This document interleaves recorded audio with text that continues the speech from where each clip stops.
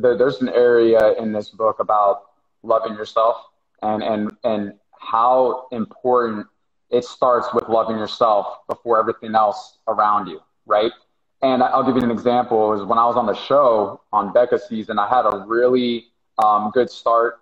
Uh, I had a really good few weeks where things were going great. Um, and people might not have seen that just because the editing changed based on my actions that took place later on in the season. And this is where I'm going with this is um, I began to not love myself. I started comparing myself, which is deadly in today's society, right? Living my life based on what I'm seeing of other people, right? Uh, started having self doubt, started using low energy words towards myself. And that made me defensive. That made me insecure.